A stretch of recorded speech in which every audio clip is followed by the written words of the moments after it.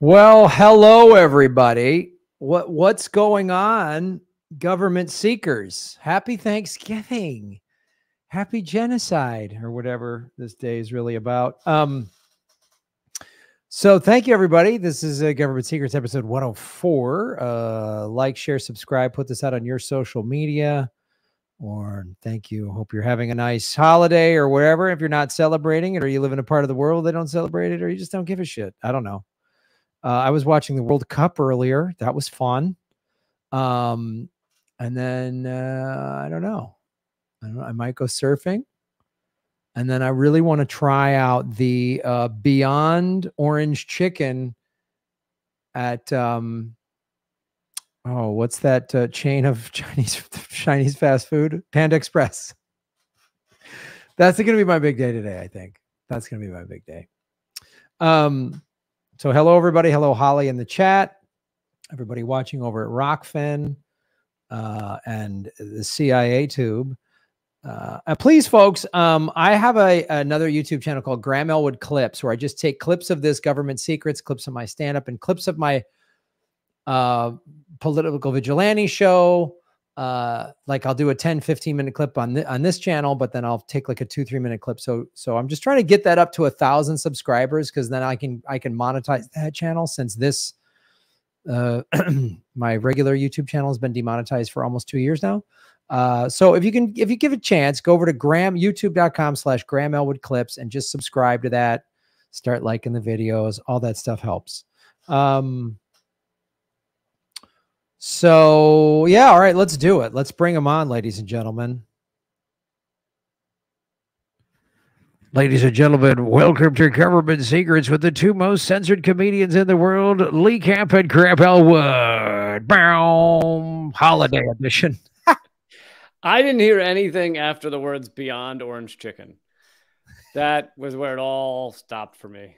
Uh, should should we all be hoping to get beyond orange chicken? Our entire lives, our entire lives have been about getting beyond orange chicken.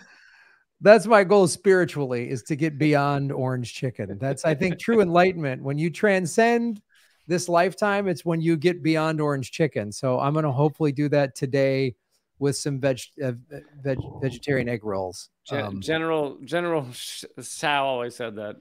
General Chow always you can just get beyond orange chicken.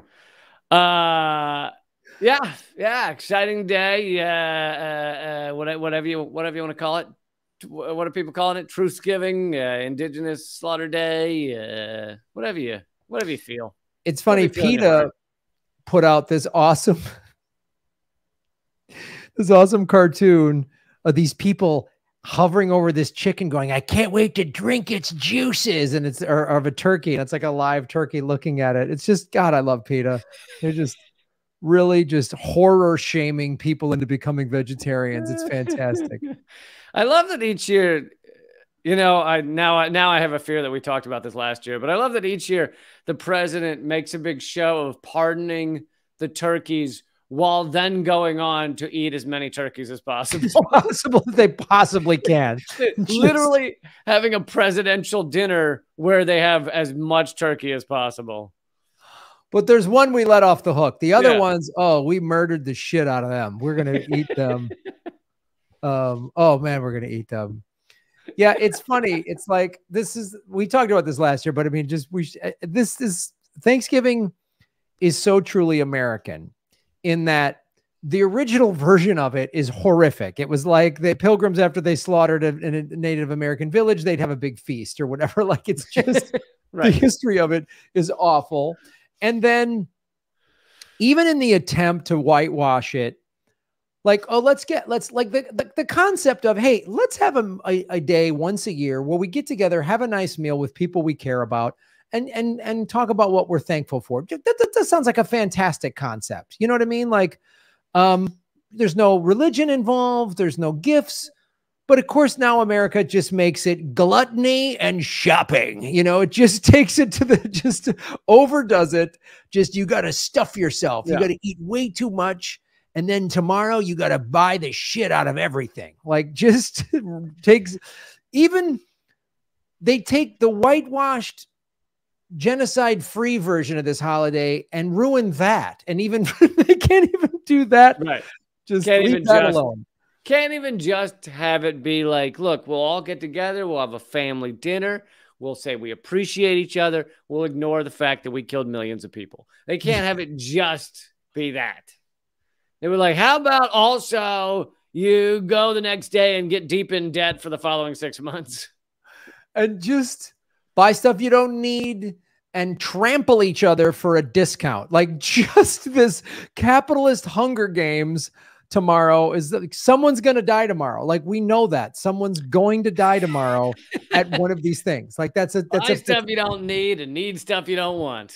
That's the It's motto. just America can't help itself but going over the top with everything. Like we just everything is funny watching the World Cup. And and the rest of the That's world is like that's a drink making competition, right? yeah, it is. It's a drink. It's a bunch of it's a bunch of it's like uh it's like beer pong, Lee. It's just like beer pong. Oh, oh, right. World Cup. Right. You you throw the ball in the cup. Yep. and then you get to the other guy drinks. Yeah. Um, but even the World Cup like shines a light on the whole world calls the game football. We call it soccer because our football game only has four plays where we actually use our foot, but yet we we decide this is football. Yeah. And this is the World Cup. The whole world plays in this. The whole world watches this. And we have the World Series, which is just American teams playing each other in a sport that most of the world doesn't care about. Right. Like Right. it's just I feel partially responsible because my ancestor, I think it's still called football because it was created from like rugby came from soccer and football, American football came from rugby. So we were kind of still, it was still in that family of like, we're like, well, this is our football. right. And everybody's like, no, that's that's a different thing. You came up with a different thing. And Walter Camp did a lot of it. Oh, that's right. I love the fact that Walter Camp invented football. It's so so great. It's it's you like uh, we've talked about this before. You're the Forrest Gump of comedians. You somehow your family has been woven into every piece of history. Not every piece. It's just Walter Camp, George Washington, Robert E. Lee, and Lewis and Clark. Other it. than that, I mean, Other most. Americans. There was no one. Lewis and Clark. Oh, this sorry, is new to John. me. And oh, I didn't tell you. It's actually just Lewis. It's not Lewis and Clark. Oh well, then yeah, fuck it, fuck, forget it. Then it that, that I makes- forgot to mention John Marshall, which is actually the one we're most directly descended from. Lee, if I didn't know better, I would think you were some goddamn blue blood. You know what I mean? That's like put in place like- by the I'm, Illuminati. I'm the, I'm the shittiest blue blood that has ever, ever been had. like at any at any moment, couldn't you just make some calls and go, "Hey, I need to stop being throttled." Like just Well, hilariously, so all of that's on my father's side. And my father came from like, it's eh, basically Florida rednecks. I mean, so even though you can be descended from these people and it's, you're not, you're not in the oligarchy anymore. It's just, so then is your is your dad's side of the family the original Florida man? yeah, yeah, yeah, yeah totally. Totally is. So when you hear about some guy like throwing an alligator into an Arby's drive-through window in Florida, you think, ah, that's my, My- fam. My father's father, my grandfather, was so they were like they were like they had a house, but you know they were they were borderline uh, trailer park stuff from Florida, and he was a sale he was a door to door salesman. He was uh, legit would go door to door and try and talk people into like buying like uh, oil lubricant stuff like for their cars, like for their cars, and and had all these crazy schemes. He invested money into lifting the Titanic using ping pong balls. They were gonna pump it full of ping pong balls. Like this is a far cry from Lewis and Clark. All right. wow, is I feel like this ping pong ball really should be a government secret at some point, Lee, especially if your your families related to it. Like this feels like there's more to this story. like the Army Corps That- of that Engineers. investment did not did not pay off. Oh, really? Yeah. The ping pong ball Titanic thing didn't didn't pay off. Have you have you seen the Titanic floating around recently? I have not. Oh man, damn it! I thought. Well, maybe we should start a GoFundMe and do the second, you know, the second Camp 2.0 Titanic ping pong ball. Yep. I, I listen. It's it's it's it's never too late. Better late than never. it's funny, like I see why you like to focus on the fact that I'm a weirdo that has nunchucks next to his bed because then we we don't have to learn about this stuff. Yeah, yeah. I try and find something to take us down your path very quickly, so we don't analyze my life. this i mean nunchucks by the bed is a very practical safety thing if you're trained in that art, art form of weaponry um but it pales in comparison to raising the titanic with ping pong balls i'll tell you that much True, true. Graham, can't can't can't a man dream? Can't a man dream? far be it from me lee to, to, to, to you know shit on a man's dreams you want to raise the titanic with ping pong balls i'm all for it i say you go for it my friend i say you go to your local big five sporting goods store and buy five million ping pong balls Roughly and, five million. Yeah. I really, God, I'm fascinated by this now. I really want to know what the, the the engineering and the science, the physics behind this plan was. I feel How like for that to work, you would probably need a complete Titanic ship resting at the bottom of the ocean, not Right, just pieces. pieces of it. Wow, this is. um I mean, do you get the ping pong balls and then tie them, and then they floated above? Do you put them underneath? Like I'm sure, really, I'm Oh, trying- I, I I assume you got you got to get a really strong pneumatic like vacuum hose, and you pump them into the Titanic thousands of feet below the surface of the water. and then eventually, once you get enough ping pong balls inside the hull of the ship, then eventually it rises up. This is fantastic. Uh, would it not, Graham? Uh, simple physics. Simple physics. I'm way more on board with this idea than when you first told me about it. I got to be honest with you, Lee. I would assume you'd have roughly 14,000 men um, blowing into hoses to propel the ping pong balls into the Titanic. Are they regular? Like, are they officially sanctioned like Olympic ping pong balls? Are they specially made ping Each- pong? Ping pong ball is the size of a small house, like a, like a two story two story house. So they're giant, like on the original Prisoner TV show. Yeah, in fact, where- ping pong ball was not the right name to use. I feel like describing it.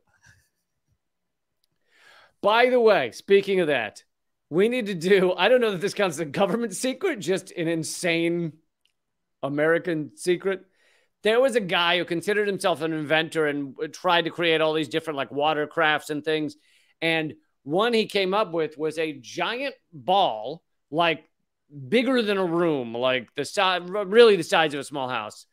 That fabric ball, a canvas ball that you would get inside of, and it would like blow you across waterways. So he built it and tested it in the what what what, lake is uh, what what Great Lake is next to Chicago? Is it Michigan? Michigan. Yeah. And and so he got in it, and I don't understand what kind of contraption was inside this giant balloon, but and the thing takes off across Lake Michigan and lands like two days later or something on the other side of Lake Michigan. It's like scraps of canvas and a dead man. What? And this man was your great uncle? No, unrelated to me. he did have the head of Walter Camp in the balloon with him, though, in a, in a, in a jar.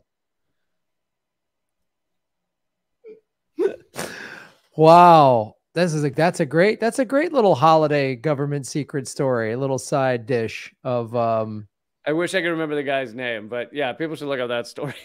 oh, that sounds fantastic. Well, let's get into our government secrets, Lee. Um,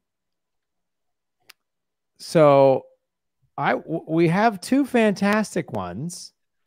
Um, what do you want? To, do you want to go first? I don't care either way. Um, I, you know what? I'll I'll do mine. Mine is kind of a, a brief. It's not a huge one. Yours feels like it might take a little longer. Probably, yeah, take a while. All right, we'll do mine. So, um, government secrets segment number one: the American invasion of Grenada. Um, so I remember this when I was a kid, the invasion of Grenada, but of course, there's stuff to it we did not know. Um, first, I will go into just what happened in Grenada, uh, and it was it's it has a thanks some a, a slight Thanksgiving tie-in. Um, it began at dawn on October 25th, 1983. The United States and a coalition of six Caribbean nations invaded the island nation of Grenada, which is 100 miles north of Venezuela, codenamed Operation Urgent Fury by the U.S. military. It resulted in military yeah. Isn't that everything America does for urgent fury? Everything's an urgent fury in America. Just everything. The way people drive, all you can eat buffets, I think, are, are urgent fury. Dude, if I saw a buffet that said urgent fury, I'd be like, yes and yes. Just, that is happening. I got to get in there and get to the chocolate fountain. Just, um, so it was triggered by, uh, since, uh, since Thanksgiving is all about holiday tradition. You're going to see some American traditions laced into this story. Um, it was triggered by strife within the People's Revolutionary Government, which resulted in house arrest and execution of the previous leader and second prime minister of Grenada, Maurice Bishop, um, and the establishment of the Revolutionary Military Council with Hudson Austin as chairman. The invasion resulted in the appointment of an interim government, followed by elections in 1984. So Grenada had gained independence from the United Kingdom in 1974. And this is the thing that's interesting. The um so we, I want to go into this real quick. The the PRG, which is the uh People's Re Revolutionary Government, uh, was proclaimed in 1979. So they became independent in 74 from from England, and the People's Revolutionary Government was uh, was proclaimed after the get ready for it Marxist Leninist New Jewel movement overthrew the government of Grenada in a revolution, making Grenada the first, making the only socialist state within the Commonwealth. Um, I'm sure that has nothing to do with this. No, no, no, no, no, no. That's never been a theme. We've never uncovered that theme that anytime there's a communist anything or socialist anything, America just comes in and says, nope. Um, so, uh, so that was when, let me go back. So, uh, so basically, a lot of it was eh, we don't want Marxists in charge of anything. Um, so what happened in September of 1983, leading up to the invasion, an internal power struggle began over Bishop's leadership performance. Bishop was president in a party meeting to share power with Deputy Prime Minister Bernard Coard. Bishop initially agreed, but later balked. He was then put under house arrest by his own party's central committee until he relented. When his secret detention became widely known, Bishop was freed by an aroused crowd of supporters. A confrontation then ensued at military headquarters between Grenadian soldiers loyal to Coard and civilians supporting Bishop. Shooting started under still disputed circumstances. Oh, this is Wikipedia's little line item. Um, this is where, and this is just a guess on my part, still disputed makes me feel like, did the CIA help start that, stir that up? That's, yeah. Um, the at least 19 soldiers and civilians were killed on the October 19th. The Reagan administration uh, launched a military intervention following receipt of of a former appeal from help from the Organization of Eastern Caribbean States. In addition, the Governor General of Grenada, Paul Scoon, secretly signaled he would also support outside intervention, but he put a signing of a le- but he put off signing a letter of invitation until October 26. Reagan also acted due to concerns over the 600 medical students on the island and fears of a repeat of the Iran hostage crisis. So, so to give it some historical context, the Iran hostage crisis started in 79. Um, that uh, and the Iranians turned over those hostages after Reagan took office. Uh, and also, there would have been a Beirut bombing, I believe, earlier that year. So there was some like, oh, we don't want this to happen again. So you could put some sort of, uh, there's a fair argument to say, oh, there was a, a slight concern we don't want this to happen again, uh, especially in our hemisphere. So, so the invasion began on the morning of October 25th, two, just two days after the bombing of the, yeah, two days after the bombing of the Marine barracks in Beirut. So that might have, some people say that's why Reagan was like, the hell with it, we're going. Um, it consisted of 1st and 2nd Battalions of the U.S. Army's 75th Ranger Regiment, 82nd Airborne, and the Army's Rapid Deployment uh, RDF, which is Rapid Deployment Force, the Marines, Army Delta Force, and Navy SEALs, and ancillary forces totaling 7,600 troops, together with Jamaican forces and troops of the regional security system. Um, this is. And this is why they call it. By the way, folks, uh, Grenada has 113,000 people. Yeah. a tiny, tiny island. We sent literally the best of the best of every branch of the military and this is this is urgent fury this is america's like and again we hadn't deployed we hadn't deployed combat troops since vietnam so me, this also makes me feel like, well, we lost Vietnam. That's never happening again. So we're gonna just dump yeah, everything. We, we, we lost Vietnam. Reagan was probably like, we lost Vietnam. Then this pussy Carter came in and he didn't do anything. And now it's time to show we can blow some shit up again. Yeah, that, that's what this feels like. So find me a fucking Marxist somewhere I can bomb. There's there's got to be a Marxist somewhere. You know what I mean? They're doing something. Um, so uh roughly 76,000, 7,600 troops. Uh, the the force defeated the Grenadan resistance after low altitude airborne assault by the Rangers and the 82nd Airborne on the Point Salines Airport at the south of the island and a Marine helicopter and amphibious island of the north at Pearls Airport. Austin military's government was deposed and replaced with Scoon, a government a governor general, by an interim advisory council until the 1984 elections. I'm sure this guy's not Marxist. That's just my guess, just off the top of my head. I'm going to say that guy's not. So here was the here's the thing that I was. This is the real secret about this. The actual, I mean, the overthrowing Marxists. We know that's probably the reason why. Here's the thing that I never remember ever hearing in the news. Now I was in like eighth grade or freshman in high school. So I was starting to really get into history and social studies, and it was actually becoming kind of fascinating to me. And I had some very good teachers about that. So this, when this happened, I was like, oh wow! And this is how it was sold to us as Americans: is oh, we have to go liberate this thing, and everyone's like, huh, okay.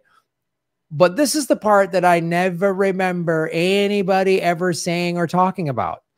The invasion was criticized by many countries. British Prime Minister Margaret Thatcher privately disapproved of the mission and the lack of notice that she re received but publicly supported. I'm sure private disapproval is like, hey, that used to be our colony. You can't colonize people we used to colonize. Like, right, right. But then this is the key thing that was never mentioned with this invasion of Grenada. The United Nations General Assembly condemned it as a flagrant violation of international law on November 2nd, 83, by a vote of 108 to nine. wow. So Reagan clearly violated violated international law. Nobody, Americans did not give a shit at all. We came up with some. We got to protect I, students.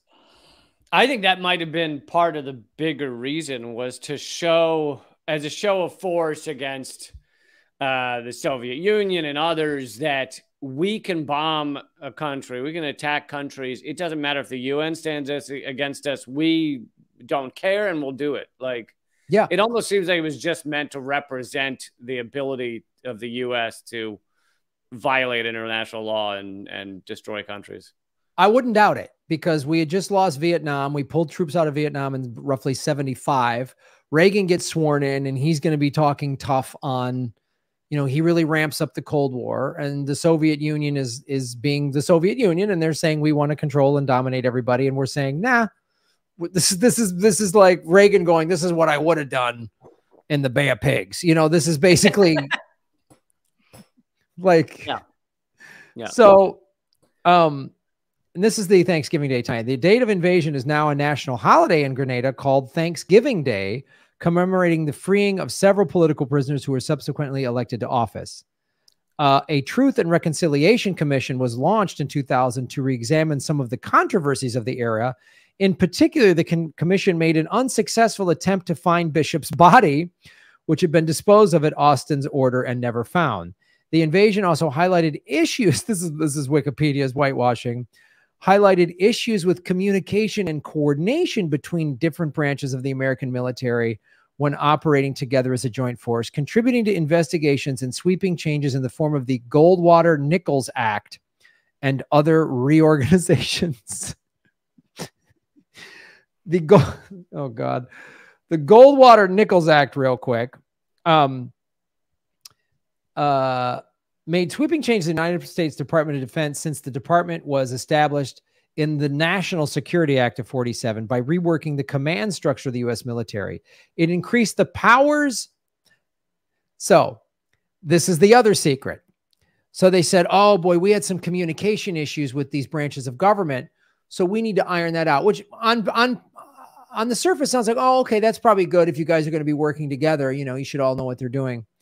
Um, the uh, it increased the powers of the chairman of the Joint Chiefs of Staff.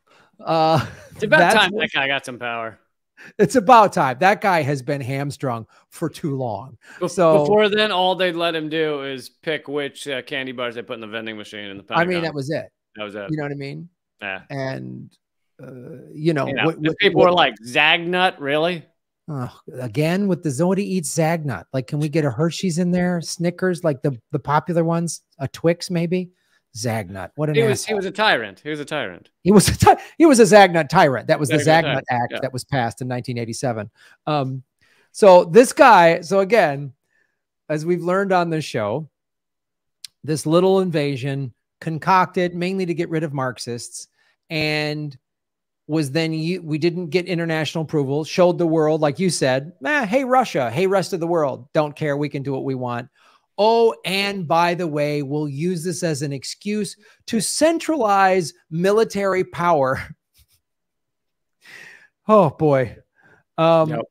uh, uh it in, in, implemented the gold the Goldwater uh, the Goldwater Nichols Act also implemented some suggestions from the Packard Commission which was commissioned by President Reagan in 85. Among other changes, the Goldwater Nichols streamlined the military chain of command, which now runs from president through secretary of defense directly to combat commanders.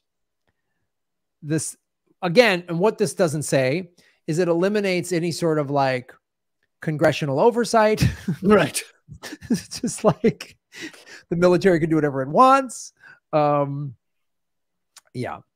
Um, by the way, little uh, also another little Thanksgiving tie-in. Uh, Grenada was inhabited by indigenous peoples from South America uh, until uh, Columbus sighted Grenada in 1498. Uh, but the Europeans tried many times to colonize the island, but were unsuccessful because apparently the people there didn't want to be colonized. And then eventually, uh, French settlement and colonization began in 1649, and they kind of volleyed back and forth with the British on who who owned those indigenous people. Yep, and then they tried to run their own government, and, and then we sent in the Navy SEALs. So that's uh, so that's pretty much So that's the invasion of Grenada and the real story behind it, ladies and gentlemen. Please enjoy that government Thanksgiving secret. All right. So I have mentioned this uh, many times throughout the history of our, our show here, but I, and I'd always threatened to do a full segment on it, but had not until today. The Powell memo. Yes, I'm so excited for the Powell memo. I've been waiting for this, Lee, and I can't wait to learn more about it because it feels like it's going to be a fun memo, like a good memo, like a memo for more parties and more inclusion and people helping each other out, right? Exactly, and more Kit Kats, Kit Kats in the vending machines was mainly what it focused on. uh, so uh, for those who, li- who who listen to the podcast, you should. Th- this would make a great partner episode with the Trilateral Commission because these things these things happened within a few years of each other, and both said similar things, but taken together were the shift of the American empire uh, into a a full far right wing nut job. Government Secrets Powell Trilateral Commission crossover episode. On August 23rd, oh, and this was by uh, Jerry Landay, by the way. On August 23rd, 1971, the U.S. Chamber of Commerce, which I had never known much about. It sounds very nice. Chamber of Commerce. That's a chamber that helps people buy stuff they need, right? Businesses, yeah. But you know, and we could do a whole episode on the Chamber of Commerce, but it's it's just corporate America. It's the chamber of corporate America ruining everything, is what it is. But uh, U.S. Chamber of Commerce circulated a memorandum by Southern lawyer Lewis Powell Jr. titled Confidential Memo Attack on American Free Enterprise System. Two months later, Powell was appointed to the U.S. Supreme Court. The importance of the Powell memo can't be overstated. It ignited a right wing political movement that eventually led to the takeover of the Republican Party by an alliance of fundamentalist religious zealots and pro corporate extremists who then seized control of the presidency, the Congress, and the federal judiciary. And this is where I branch away from the writer of this article, and I would say, and the Democrats. Uh, yeah. These these forces now own the Democrats as well. So to pretend like this is a this is a oh the republicans got captured and they took over these entities and the democrats are still fighting against them is bullshit so. complete bullshit. Um so few are aware of the critical role played in the political power shift rightward by a prominent richmond attorney my hometown richmond richmond virginia attorney and community leader lewis f. Powell jr at the very threshold of distinguished career at the u.s supreme court. By distinguished it's kind of like Darth Vader had a distinguished career. He really did. I mean, he really he's got a lot of medals. He he really was a good leader. I mean, he was he motivated people quite well. Uh Powell um Powell, he was a prop, he was a prominent uh, corporate lawyer before he was in the Supreme Court, and he'd found the social turmoil and anti-business mood of the country abhorrent and alarming. And you got to remember, seventy-one. Obviously, you got uh, you know all the all the hippie shit going on. The Vietnam War is being stopped by goddamn hippies. Uh, it was there was a lot of uh, you know maybe we don't need to have war anymore that kind of sentiment a lot of anti-corporate the expression selling out actually meant something back then. Yeah. A lot yeah. of things going on. Uh, a massive propaganda campaign he wrote was being waged against business.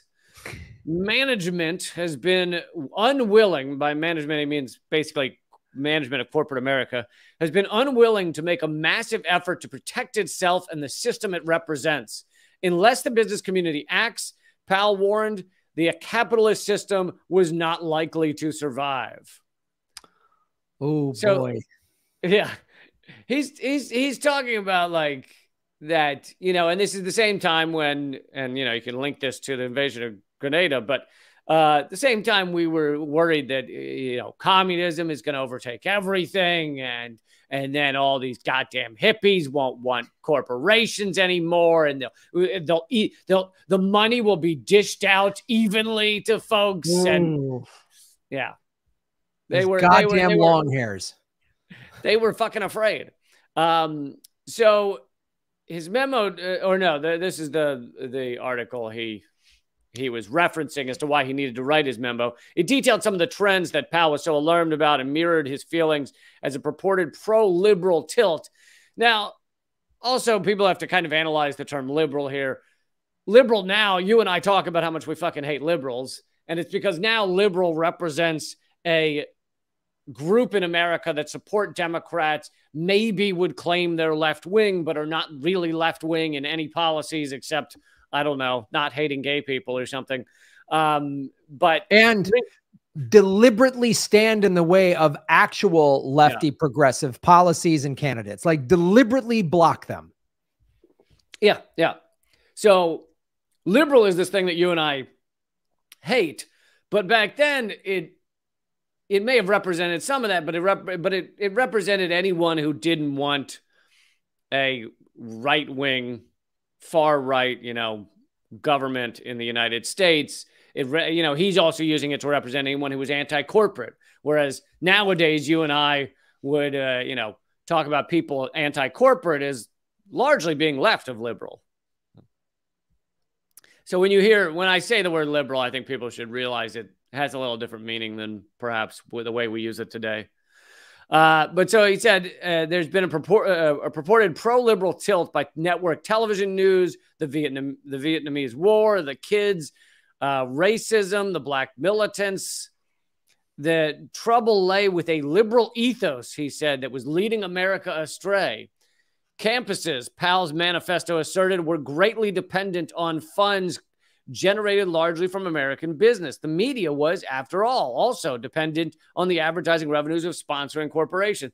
So he's making the argument, and I'll get a little more into it, but that that business is being torn apart by these left wing slash liberal forces, and but business has the ability, if they were to use it more clearly, to destroy all of this. Uh, they could stop television from airing things. They could change college campuses. Business is funding these things. So, therefore, the corporate America has, he's basically saying, hey, guys, you have the ability with your money, with your power to get rid of all these people and to make America simply a pro corporate country without anyone questioning that. And here we are today. Black Friday's tomorrow, everybody. Get shopping, get the deals out.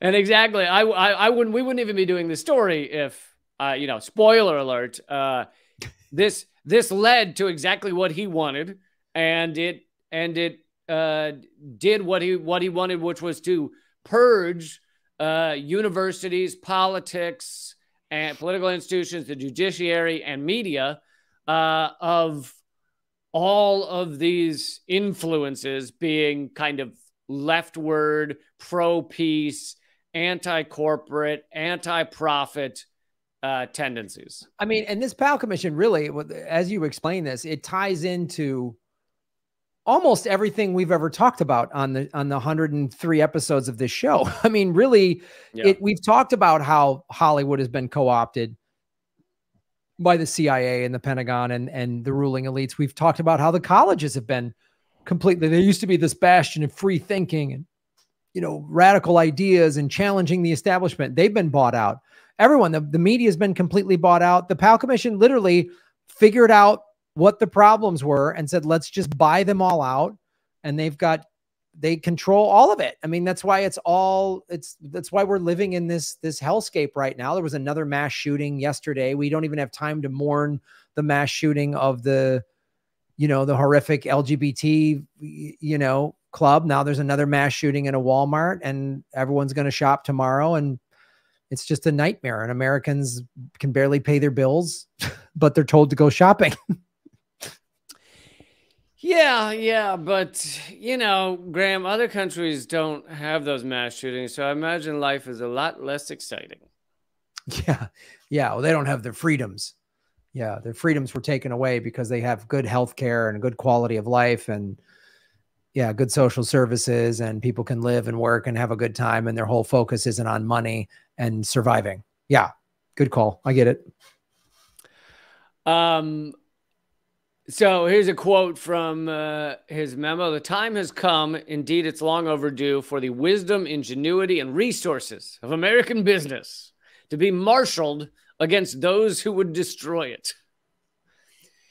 Powell's blueprint focused on four broad targets of attack institutions of higher education, especially students and faculties in the social sciences, the media, the political establishment, centers where public opinion, legislation, and government policies and agendas were shaped, and the court system, which codified and interpreted American law. Um, and by the way, before because I'll probably forget later when the you know the he says particularly social sciences, and I remember reading a while back about how the, the percentage of people studying business in college versus in university versus social sciences has completely switched. People used to study social sciences.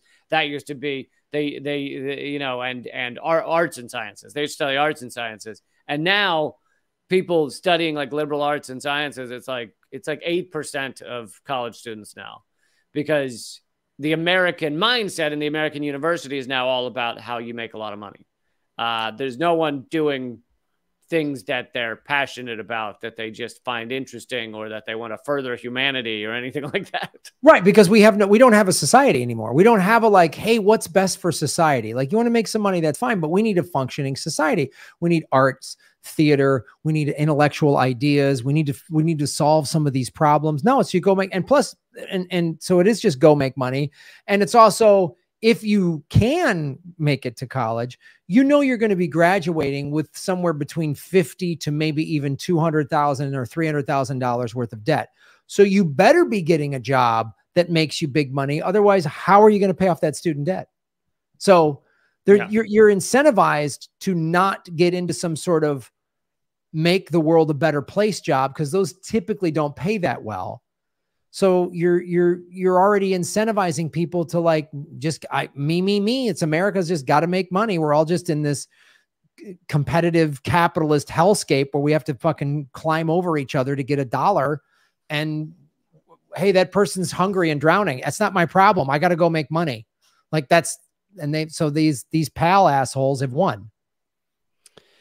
It's kind of like we have to, we, we, we now view life in America without even realizing we view it this way as how do I make enough money to wall myself off from the way society treats me? Yeah. it's it's really the it's really the truth. You either have to make a crazy amount of money so you can't get misused by society and the government, or you've got to move to some country where the cost of living is really low, which a lot of Americans are doing now. I mean, they're just like, that, yeah. Just... Uh, before I continue, I'm gonna hit refresh real quick because people are talking about how my connection is bad. So uh, I'll see if that helps at all. While Lee Camp hits the refresh button, ladies and gentlemen, I'm going to say hello to everybody over at Rokfin. Thank you for watching at Rokfin. And please hit the like button, ladies and gentlemen. Like, share, so get the likes over a hundred, and then support what we do at uh, patreon.com slash government secrets, where we will um, we will be uh, doing our bonus live stream segment uh, for Patreon members exclusively right immediately following the show. So go to uh, patreon.com slash government secrets. Lee Camp, you're back. I'm back. If my connection still sucks, I'm sorry. I don't know what to tell you. And uh, fuck you, everybody. All right. Yes. You look good, dude. Look, the, that refresh was the best thing. It was like I when was, when I said I had to go refresh, I went and just splashed water on my face. It's the equivalent of the Powell uh, memo, getting rid of the the filthy long hairs, is what it, you just did. It's really great. Yeah, yeah, yeah. He just he basically clicked refresh on American society. on anyone try. trying to make the world a better place, he just refreshed it. He's it like, people are standing up against corporate America. Have we tried unplugging it and plugging it back in? that works a lot of the times. So let's do it. All right. So, number one on campuses, liberal professors and their agendas were wielding, quote, enormous influence far out of proportion to their numbers, radicalizing their students to the point of being revolutionaries. And uh, yeah, he was not saying the word revolutionary is a positive thing.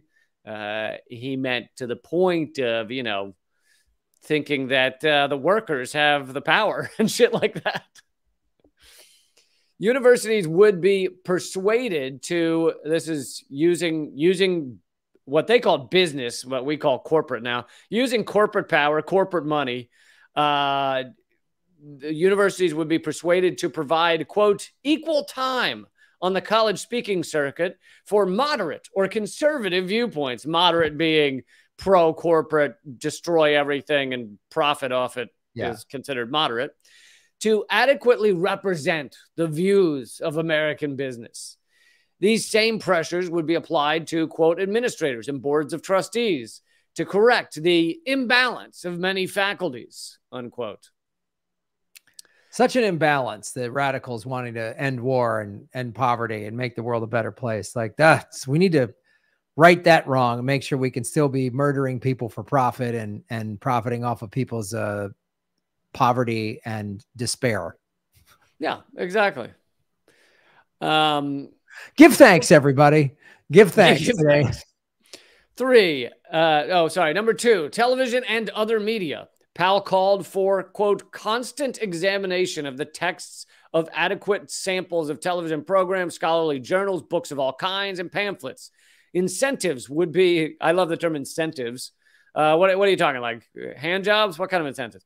Were to be applied to induce them to publish and air more writings by the quote unquote faculty of scholars that they would put forward.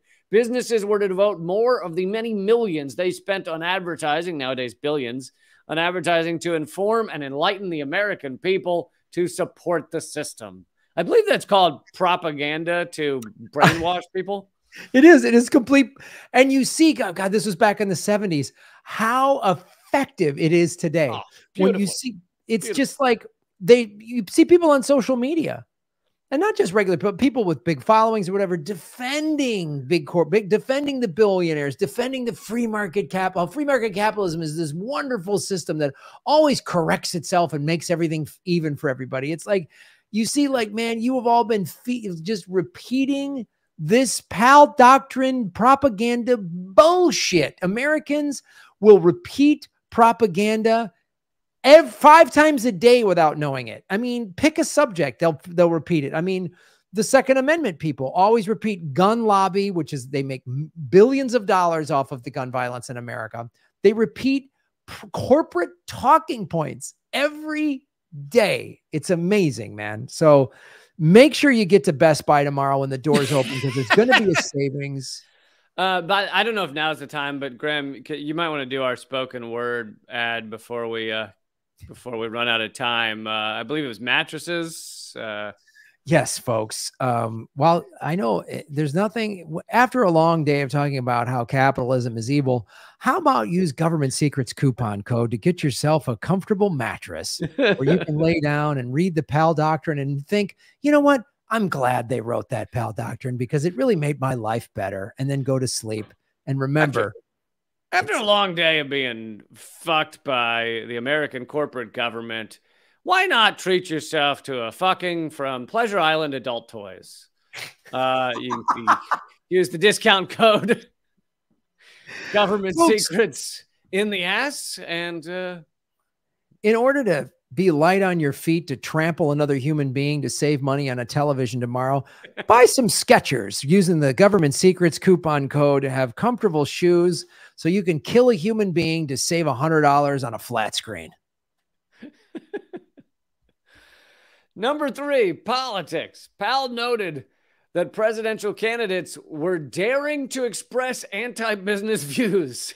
Oh, dear God. Well, let us not forget two of them really expressed it the kennedy brothers and they all took a couple shots in the head. So they uh the Powell doctrine really was wanted to stay ahead of that curve. Yeah and although Carter was nothing like the uh, the the new and improved Kennedy before he was killed, uh, Carter was still not something they really liked. So I think I think when Carter was in office, they were they made American business made sure to get him out, and they they kind of were like, how do we make sure that never happens again? Yeah. Yes. um. So lawmakers were being quote stampeded to support the agendas of consumerists and environmentalists. That's funny that he's using consumerist as a negative connotation, whereas nowadays it's like all corporate America wants is for you to be a consumer. Just be just shut up and buy stuff. The American businessman had lost his influence within the government, which of course is hilarious. It's like he hadn't lost his, he was still the most powerful influence on the government, just not enough for the likes of Powell, for the likes yeah. of these people who wanted no question to their authority, uh, to the authority of corporate America. Anyway, Powell continues that the American businessman was truly the forgotten man. Powell proposed it. it's so hard for those businessmen. They were forgotten. Powell mm. proposed an intensive campaign to enlighten public thinking about business. Even more directly, business had to take direct steps to regain decisive political power within the government. Influence had to be assiduously cultivated, used aggressively, and without embarrassment. Yeah. You, you know, one thing that honestly has completely been wiped out, and maybe there didn't used to be tons of it, but there was some, is shame in extreme wealth or extreme corporate destruction. There used to be a bit of shame. Yeah.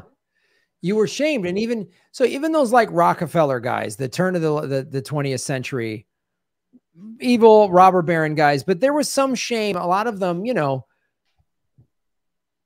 gave money to schools and and I'm not I'm not painting them out as these like oh wonderful men. They were they were pretty horrible people, but there was enough shame. They were trying to cover were, up. They were trying to cover up what they did with charity yeah. work. Yeah.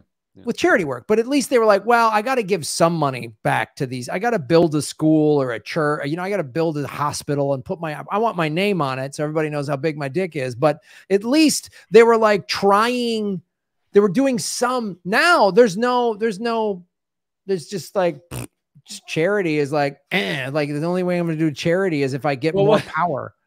The what you know, for example, what the Koch brothers called charity was like buying everything and putting their name on it. So like they they own like Lincoln Center in New York. It's like Koch Center and like they they own the the Hall of Human Evolution in the Smithsonian. Jesus. Like I saw some news story like, oh, Jeff Bezos is spending money on homelessness. I'm like, oh God, what's he going to spend? Like five million dollars, which will not do it, do anything, and that's the equivalent of like me going, I'm going to put five dollars towards homelessness. Like it's. I remember he, uh, he, I think he gave six million dollars to something with the Australia when the Australian fires happened, and people were acting like that was a big deal, and I calculated it and it's like seven minutes of his income or something. Like, yeah, seven minutes. it's like, a, you know, max an hour. Um, let's see. So he wanted them to act aggressively and without embarrassment. He said that included broadening the role of the lobbyist for the business point of view. Powell concluded that there should be no reluctance to penalize politically those who oppose us. The and then number 4 finally the court system. Powell's recommendations were to prove especially compelling to movement conservatives and would later be applied with forceful effect. He observed that the judiciary may be the most important inst- instrument for social, economic, and political change, and took as his model the American Civil Liberties Union, which initiated or intervenes in scores of cases each year. The manifesto concluded business and the enterprise system are in deep trouble and the hour is late. So this is weeks before he becomes a Supreme Court justice.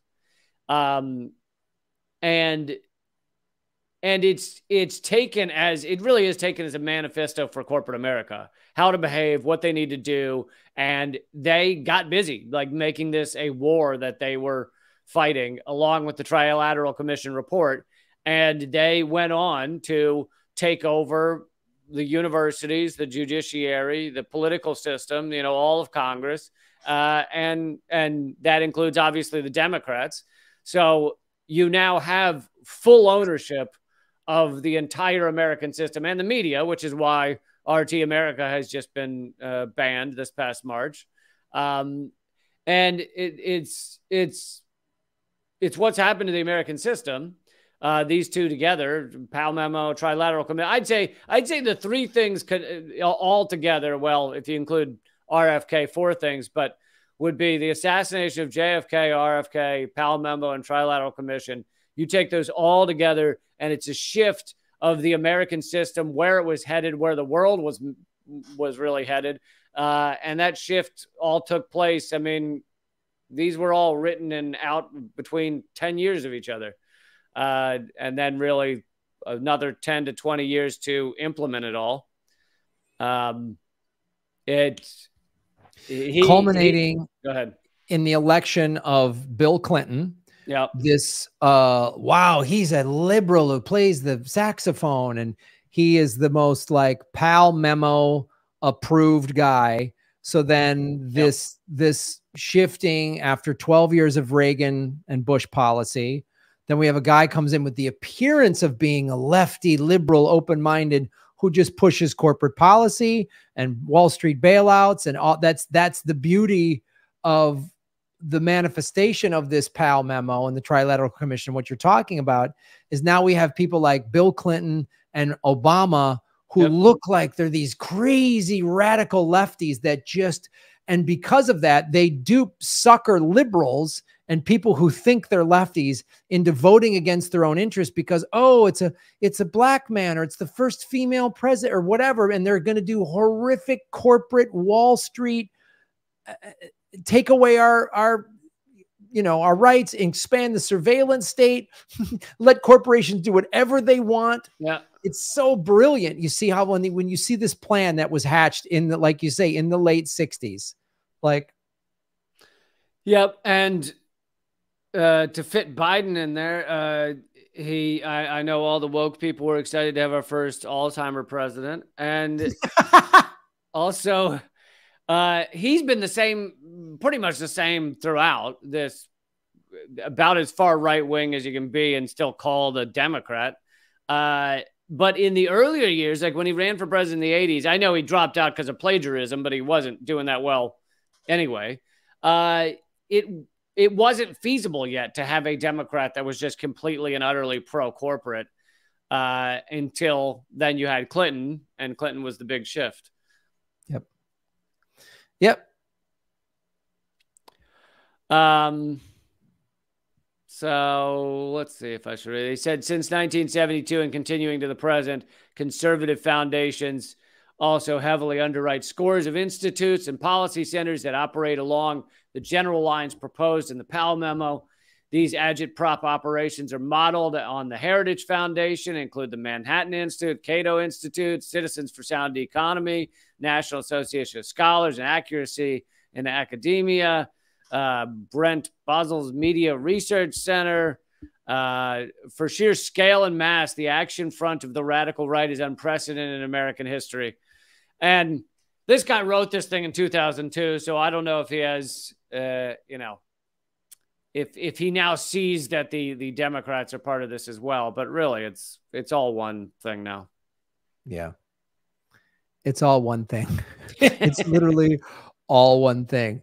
It's like when you and you think it's different and it's like when you find some like, oh, look at this really good like organic vegan salad dressing or whatever and then you find out they're owned by Kraft Foods or so you know what I mean just like it's just and it's just ground up Cheetos. It's just liquefied Cheetos. It's liquefied Cheetos and it's wow, it's just really and you think it's some you know, it's called Organic Natural Farm Springs or some shit like that, but it's just made in the same craft. Yeah, natural Farm Springs. Yeah, whatever. It's got some, you know, waterfall fields, you know, water. Waterfall Fields Natural Grains, uh, gluten free uh, vegan oats farm, and then it's just made like in in in the same facility that like makes sarin gas or some shit like that. It's just awful. Uh, in the facility, we make Agent Orange and a great vegan orange juice. oh, it's great. Have as well. Uh, it does say on the box traces of Agent Orange may be found. this this was made in a facility that also makes peanuts and Agent Orange. Tree nuts and napalm is uh, is also processed in this facility. Ugh. But it's organic. It's farm to table napalm. That's why I like it. So it's Yep. It's good. I love napalm hearts on a salad. It's, it's delicious.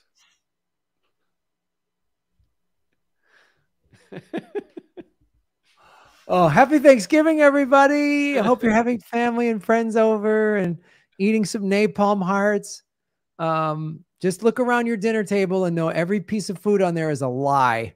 Um, but enjoy it. So, uh, folks, we're going to do an extra segment at uh, patreon.com slash government secrets. Folks, this has I will- sorry. Uh, I, I will hype what were a couple of things we're going to talk about. Ooh, ooh, there might teaser. be uh, a, a, a reference to the assassination of JFK. There might be some discussion of the uh, beginning of the FBI crime lab. And uh, there might be some discussion of a massive clothing factory fire. And I'm going to give you uh, a how to make a vegan stir fry for Thanksgiving recipe. That's what I'm going to do. So He's gonna he's gonna tell us about his Beyond Agent Orange chicken. To bring it all back, I like a good callback that ties us to the first words of the podcast. I love it, Lee. A through line. It's a beginning, middle, and an end. It's a three act play. I love it. This has been Government Secrets, episode 104, ladies and gentlemen. Join us at patreon.com slash government secrets for bonus episodes. All right, buddy. See you there, man. Take care. Thanks, everybody. Happy Thanksgiving.